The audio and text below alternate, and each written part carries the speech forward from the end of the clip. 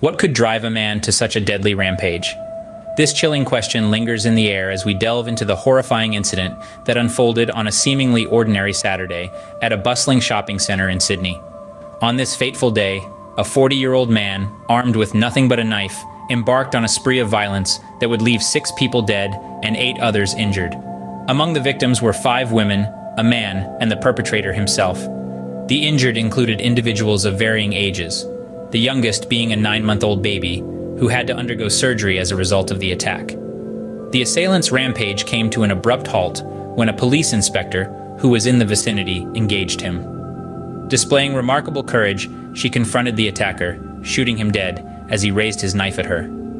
This single unit police inspector was later seen administering CPR to the injured, a testament to her bravery and dedication.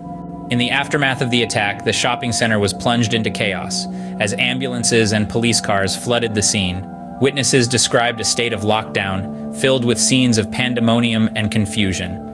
The authorities were quick to confirm that the incident was not terrorism related.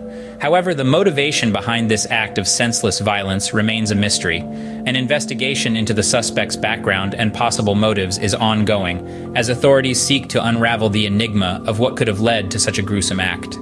The police inspector who confronted the suspect was praised for her courage. Her swift and decisive actions undoubtedly prevented further casualties, and she serves as a beacon of hope amidst the darkness of this tragedy. As New South Wales Police Commissioner Karen Webb assured the public, there is no ongoing risk, and the situation is under control. Nevertheless, this incident serves as a stark reminder of the unpredictable nature of violence and the heroes who rise in its face.